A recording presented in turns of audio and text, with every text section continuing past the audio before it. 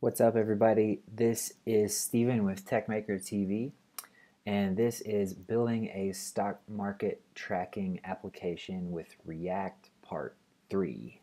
Alright, if you're liking this series, go ahead and subscribe to the channel because I don't want you to miss out on all the good stuff we're going to be putting out. Um, but let's go ahead and just keep going with what we were doing in Part 2. So, if you remember, which you may because uh, that was just a couple of minutes ago. Uh, we were setting up the uh, the data coming in from the API, or we were about to pull the data in from the API and fill out the rest of this table. Right now, we just have these uh, silly placeholders. So let's go ahead and start looking at how we can do that. All right, so first and foremost, we need to set up a constructor. So I need to spell it right too, constructor.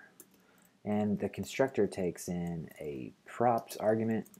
So what a constructor is in any sort of object-oriented programming language, whenever you initialize a new object, you have a constructor. And it basically tells the object how you want to build it. So every time we create a new stock row, this constructor is going to get run.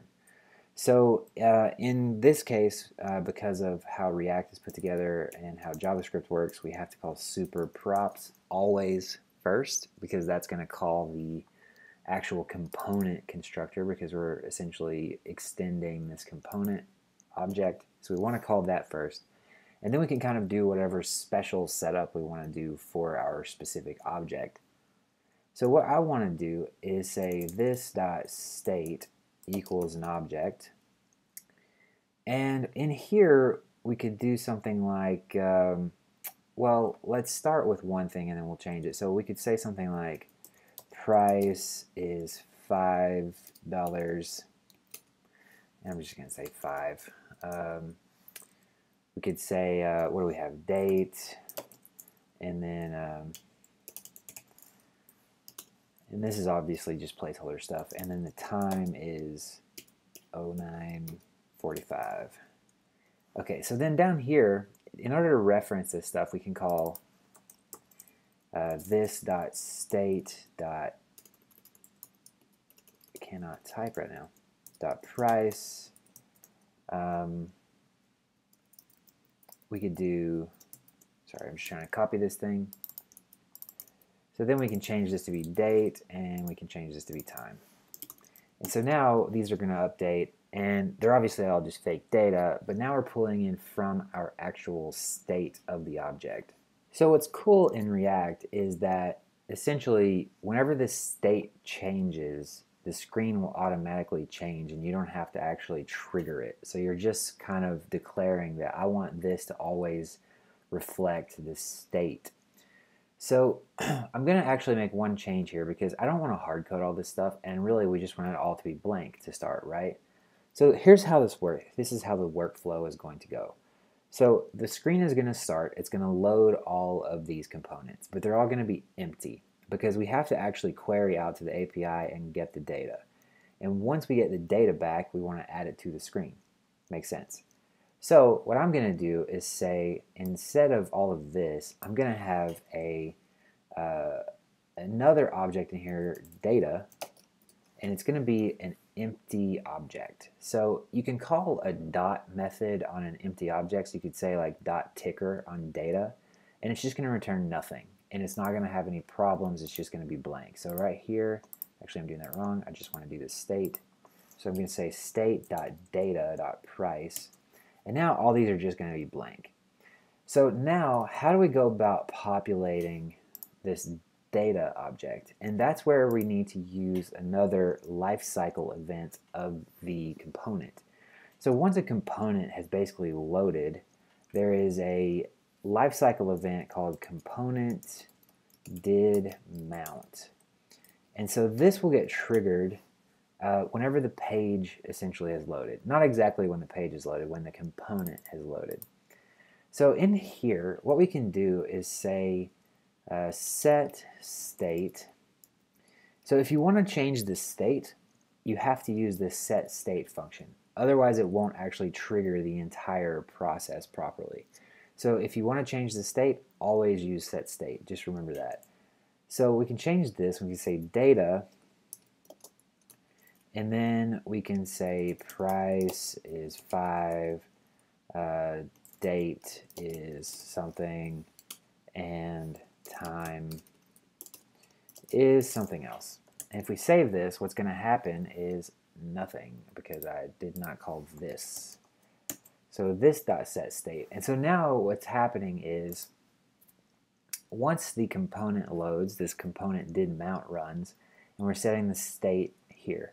So what we actually want to do is now, right here, we want to query the API, and then once we get the result back, we want to push it into the state.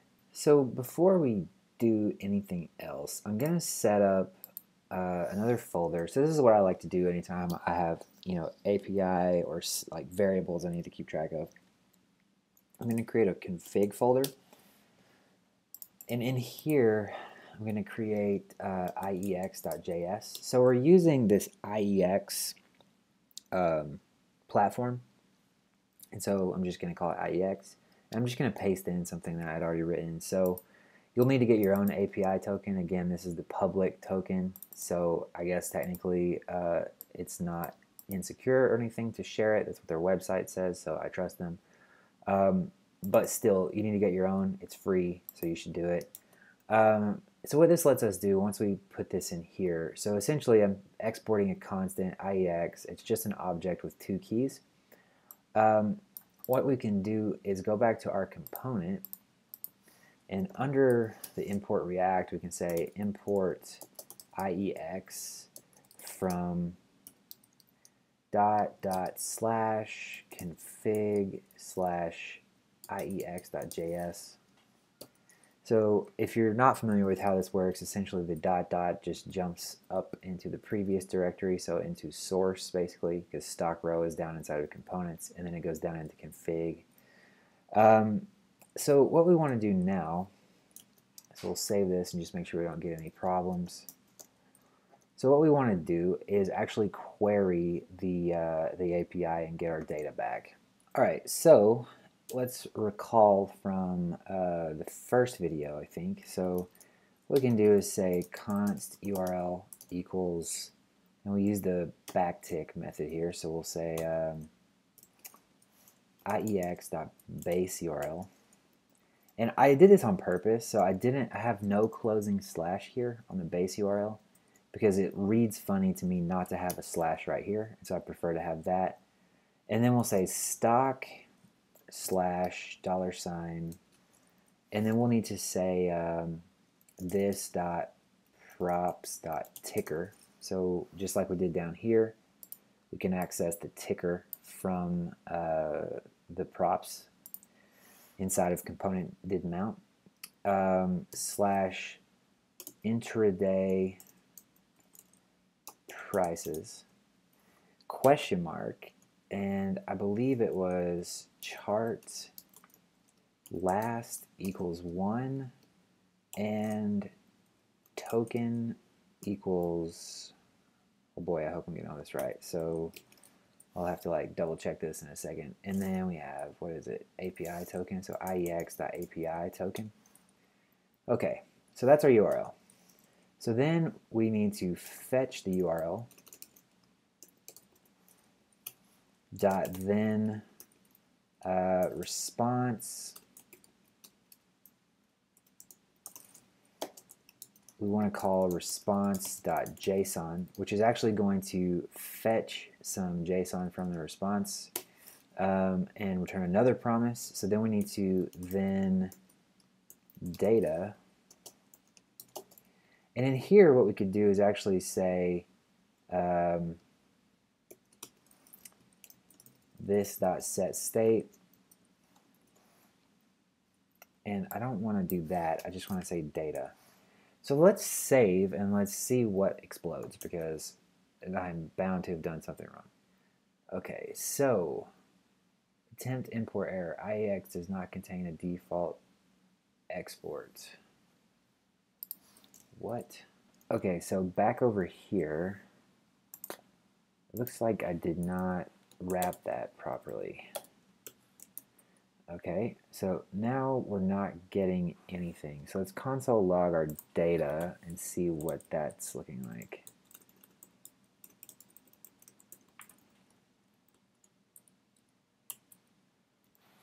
Okay, so open up the console.